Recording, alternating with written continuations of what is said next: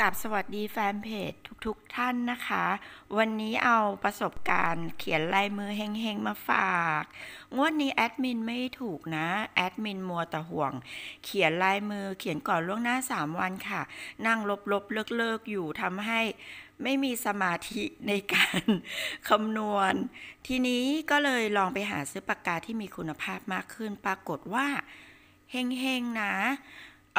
เขียนง่าย ๆ แอดมินเขียนก่อนล่วงหน้าประมาณวันถึง 2 วัน ก็เลยได้รับโชคมางวดนี้ แล้วก็มีอีกงวดหนึ่งแอดมินเปลี่ยนวิธีด้วยการ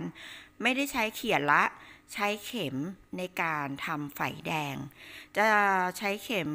ปลายเข็มเนี่ยจิ้มน้อยๆ เพื่อให้เกิดรอยแดงนะคะ ตามจุด เดี๋ยวแอดมินจะทำคลิปมาสอนอีกครั้งหนึ่งนะ โปรดใช้วิจารณญาณในการรับชมด้วยนะคะ แล้วขอให้ทุกท่าน